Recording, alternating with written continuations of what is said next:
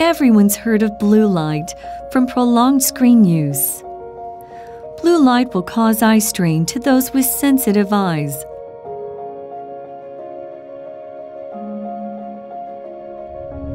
Human eyes respond to wavelengths between 380 and 780 nanometers. High energy blue light occurs between 380 and 480 nanometers. This light is strong enough to penetrate the macula. BenQ low blue light technology protects eyes by decreasing your exposure to this harmful light. Adjustable blue light modes even allow users to customize their level of protection.